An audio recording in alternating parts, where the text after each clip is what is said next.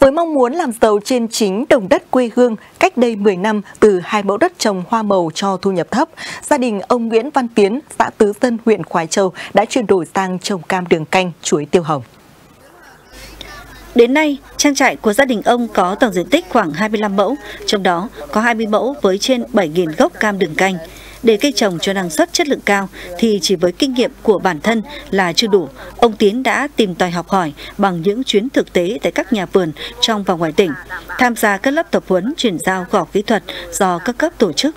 Năm nay ông Tiến ước thu khoảng 80 tấn cam đường canh bán với giá trung bình từ 40 đến 50 000 đồng một kg.